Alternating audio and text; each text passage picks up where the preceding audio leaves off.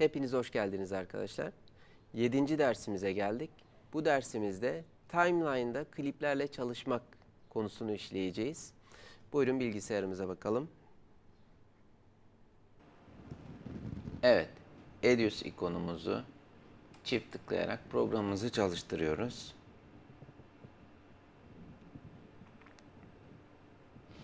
Yine yeni bir proje oluşturuyorum. Pal SD preset listimden seçilmiş olduğundan emin olduktan sonra projeme bir isim veriyorum. Bu yedinci dersimiz arkadaşlar. Yedinci ders diyorum. Yine emin oluyorum. Pal SD presetimin seçili olduğundan OK'yi tıklayarak Edius'u başlatıyorum.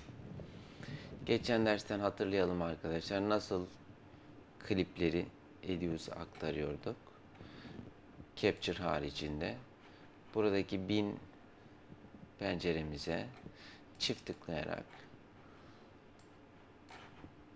bilgisayarımızda kayıtlı olan klipleri filmimize kullanacağımız herhangi footage'imizi atıyorduk.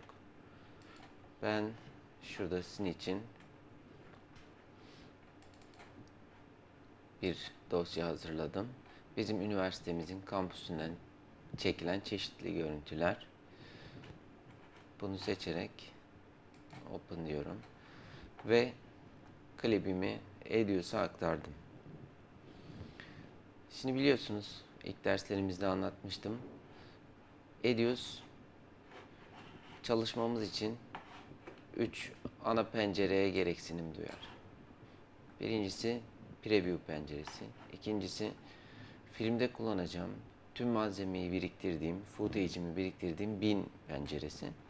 Ve filmi oluşturduğum, klipleri yoğurarak, işte bir nevi yoğurarak oluşturduğum timeline penceresi. Buradaki komutları teker teker ne olduğunu kısaca görmüştük geçen derslerimizde. Şimdi bunları kliplerle birlikte nasıl kullanacağımızı göreceğiz. Bu ve bundan sonraki 4 dersimiz boyunca timeline'da klipleri nasıl işleriz bunları göreceğiz arkadaşlar. Öncelikle bin window'unda yani bu bölgede topladığım filmde kullanacağım footage'i timeline'a nasıl atarım?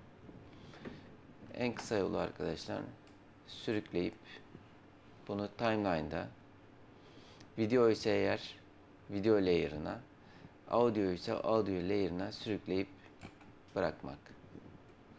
Böylece gördüğünüz gibi video klibim, video ve ses içeren klibim timeline'ıma atmış bulunuyorum. Eğer bu bir audio layer'ı ise bunu Ctrl Z yaparak işlemi geri alıyorum. Bir de ediyorsa bir ses dosyası atalım. Yine çift tıklayarak sizin için seçtiğim örnek müziklerden bir tanesini atıyorum. Bakın burada dört tane farklı müzik dosyası var. Open'ı tıklayarak neydi? Hatırlayacaksınız geçen dersten arkadaşlar. Eğer bir klip ses ise kenarında bir ses ikonum. Film ise film ikonum. Hem ses hem görüntü bilgisi içeriyorsa burada hem film hem de bir hoparlör simgesi göreceksiniz. Bu da sekansımı temsil eden ikonum. Sekansım neydi? Timeline'ımın üzerindeki filmi oluşturduğum yer. Bu sekansında şuradaki görüyorsunuz sekans simgesi, sekans olduğunu buradan anlıyorum. Öncelikle bu sekansıma hemen bir isim vereyim ben. Şu penceremi genişleterek şuradaki komutların gözükmesini sağlıyorum. Settings komutundan sekans setting'i tıklayarak sekansıma bir isim veriyorum. Bu 7. ders olduğu için arkadaşlar buna 7 yazıyorum. OK tıklayarak bakın burada sekansımın ismi değişti. Burada sekansımı temsil eden ikonumun da adı değişti. 7 oldu burada görüyorsunuz. Evet, timeline'da kliplerle çalışmaya başlayalım. Yavaş yavaş filmimizi nasıl oluşturacağımızı, bir kurgunun nasıl yapılacağını, hangi araçları kullanacağımızı görelim. Temin de söylediğim gibi buradaki klibimizi sadece video bakın. Tutuyorum. Timeline'da sürükleyip bırakıyorum. Klibimizi timeline'a bu şekilde atıyoruz arkadaşlar. Ee, tekrar yapıyorum. Şöyle sildim klipten. İsterseniz delete komutuyla timeline'da istemediğiniz klipleri silebilirsiniz. Şöyle bakın. Buradan tutuyorum. Sürükleyip ee, buradan seçtiğim layer'a bakın burada bu layer aktif şu anda. Bu layer'a sürükleyip bırakıyorum. Şöyle şuradaki slider'ımı kaydırarak bütün olarak göreyim klibimi. Evet. E, timeline'da herhangi bir klibi şöyle sağa sola doğru timeline aynı layer üstünde e, kaydırabilirsiniz. Bakın şöyle sağa sola doğru. Bu sizin filminizi montajlamanız için gerekli bir e, adımdır. Bir de bakın şimdi burada e, bir şeye dikkatinizi çekmek istiyorum. Şu noktaya bakın lütfen. Ben burada klibimi tutup sağa doğru çektiğimde burada bana mavi oklarla bakın e, klibini klibi koyacağım yeni yeri gösteriyor. E, ve e, sol tarafta kalan e, şu alanı e, yani bu kadarlık bir miktar klibi sağa öteleyeceğimi göstermek için şöyle tutuyorum. Ben bıraktığımda bakın şurada izleme çubuğumla yeni bıraktığım yer tekrar undo yapayım. Bakın şöyle yaklaşık olarak şöyle bıraktığımda e, yeni e, daha bırakmadan e, hassas bir şekilde nereye bırakacağımı gösteriyor. Aynı şekilde şu noktaya dikkatinizi çekmek istiyorum. Ben burada klibimi sürüklediğimde bakın bana klibimin yeni yerinden ne kadar farklı olacağını gösteriyor. Yani şu noktada bakın 0 0 0 sol alt köşesinde şu noktaya dikkat edin lütfen. Şimdi şurada yeni e, asıl yeri 0 0 sağa doğru gittiğimde bana e, artı 40 saniye ilerlediğimi gösteriyor. Sol alttaki rakamlar. Sola doğru gittiğimde ise eksi değerde ne kadar ilerlersem orijinal yerinden kaydırdığımı gösteriyor arkadaşlar. Ee, burada e, klipleri timeline'a atarken bilmeniz gereken bir e, nokta daha var arkadaşlar. Tekrar ben bu klibi aktifleyerek sileceğim. Peki bir e, öncelikle onu söyleyeyim. Aktif olup olmadığını nasıl anlarız? Bakın boşlukta bir yeri tıklıyorum şurada. E, sesi bana temsil eden burada layer yeşil renkte. Videoyu temsil eden e, layer'ımda e, hafif sarı, uçuk sarı renginde diyelim. Aktif olup olmadığını şöyle anlarız. Şöyle tıkladığımda bakın rengi biraz daha e, ışık miktarı artıyor. E, seçtiğim klibin. Şöyle aktifleyip delete komutuyla bu klibimi silebilirim. Şurada bakın iki tane ikonum var. Video ve audio. Hemen layer'ımın yanında. Bu ikonlar taşınabilir. Şöyle bir üst layer'a taşıdım. Ses de e, şurada hale. Bunu da şuraya taşıyorum. Bakın. Bu halde ne olur? Tekrar klibimi, ses ve video bilgisi içeren klibimi buraya taşıdığımda bakın sesimi artık e, ses klibini audio layer'ına atıyor. Burayı seçtiğim için. E, aslında buraya da taşıyabilirim videoyu. Elimle taşıdığım için şöyle bu layer'a koyabilirim. Tekrar aktifleyip sildim. Şöyle bir e, aktarma yöntemi de bunu timeline'a. Buradaki bakın add to timeline. Bunu ileriki derslerimizde de göreceğiz gerçi. Şurada bu klibi aktifleyip ben burayı tıkladığımda bakın izleme çubuğunun olduğu noktadan şu küçük ikonu taşıdığım layer'a, video layer'ına şu küçük ikonu audio ile ilgili e, bu ikonu taşıdığım yere de sesi. Ben tekrar bu ikonları şuraya taşıyarak şöyle bakın. Şimdi ne olacak görün. İzleme çubuğunu bu sefer buraya alıyorum. Tekrar bu klibim seçili. Ve bu ikonu tıkladığımda bakın bu sefer buraya attım. Yani burası da önemli arkadaşlar. Bunu tekrar siliyorum. Evet, kliplerle timeline'de çalışmak e, bir diğer hususta sağa sola hareket ettirebileceğiniz gibi bu klibi bir üst katmana da taşıyabilirsiniz. Bazı e, kurallara dikkat etmek şartıyla. Burada bu klibi bir üst klibe e, layer'a taşıdığım anda şuna dikkat edin Edius'ta. Bakın bu bir üst layer'ım sadece video bilgisi içeriyor. Bir alttaki layer'ım hem video hem audio bilgisi içeriyordu. Ee, ben bunu geçici olarak ya da bir sebeple bir üst layer'a taşıdım. Tekrar alt layer'a sesiyle birlikte kullanmak istersem geri döndüğümde bakınız video audio layer'ının artık olmadığını görürüm. Burası bu yüzden önemli arkadaşlar. Eğer e, kliplerinizin yanlışlıkla audio bilgisini kaybetmesini istemiyorsanız taşıdığınız audio bilgisi içeren e, kliplerinizi taşıdığınız layer'ın da audio e, bilgisi e, olduğundan emin olun.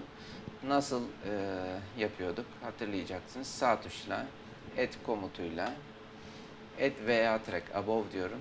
Bir tane evet şöyle gördüğünüz gibi yukarıya bir ses ve video bilgisi içeren kanalda ekledemem. Hemen bunu aktifleyip siliyorum. Bakın bu halde şu aradaki audio bilgisi içermeyen e, kanalı siliyorum.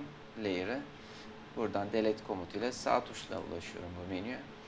Bakın şu halde bu klibimi bir üst layer'a taşıyorum ve e, audio bilgisinin artık e, kaldığını görüyorum. Evet. Bunu şimdilik buradan silebilirim. Yine e, ses ve audio bilgisi, e, ses ve video bilgisi içeren bir klibi sadece audio layer'ına taşıyabiliriz. Şöyle ki. Tabi bu e, doğal olarak e, video bilgisi de geldi. Daha sonra e, biz bunu istersek yani video bilgisini istemiyoruz. Onu silebiliriz. Şöyle audio layer'ına bırakabiliriz arkadaşlar. Bunu daha sonra da göreceğiz ama şimdi anlatmış olayım. Klibin üstünde sağ tuşla link grup komutuyla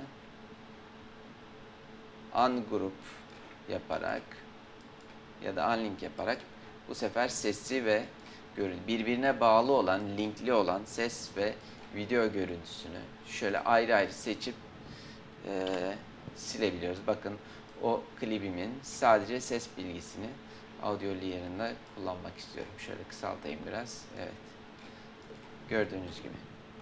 Ama e, timeline üstünde yaptığım bu kliplerle yaptığım bu değişiklik bakın tekrar birkaç undo yaparak geri alıyorum. Şöyle artık bakın sesi ve görüntüyü farklı e, ayrı ayrı seçebiliyorum. Üzerinde ayrı ayrı işlem yapabiliyorum bakın. Çünkü linkini bozdum. Ama e, Project Windows'umun içinde, Bin Windows'umun içindeki orijinal klibimde herhangi bir değişiklik olmadı arkadaşlar. Ben bunu tutup yeniden bakın buraya alıyorum. Burada yeniden ses ve audio birlikte hareket ediyor. Linkli bir vaziyette. Burada e, bu linki e, kırmadan siz e, sesi ve e, görüntüyü trimlemek, kırpmak isterseniz şuradan görüntünün olduğu bir yerden seçelim.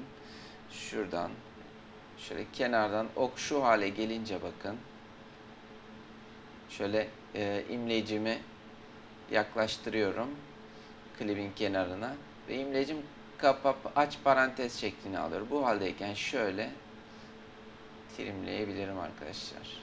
Şöyle görüntünün olduğu bir noktaya bakın. bana trimliyor ve aradaki boşluğu kapatıyor. Şöyle.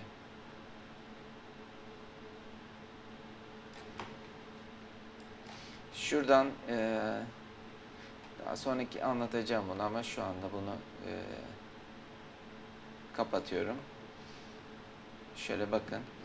Bir eee, bu işleme kırpmak diyoruz. Yeri gelmişken ondan bahsedelim. Şöyle imlecimi klibin sol tarafına yaklaştırdığımda bakın. Şöyle dikkat edin. İmlecim şöyle aç parantez oluyor. Şöyle bu haldeyken sola doğru. Şurada preview penceresinde de görüyorsunuz arkadaşlar. Bakın şuradan takip edin. Şöyle imlecimi yaklaştırdığımda şöyle kapa parantez oldu. Bakın sağa doğru kırpıyorum. Aynı şekilde şöyle izleme çubuğum buradayken klavye üstünden C harfine basıp klibimi kesebilirim. Klibimi kestim. Şöyle hafif sağa taşıdım.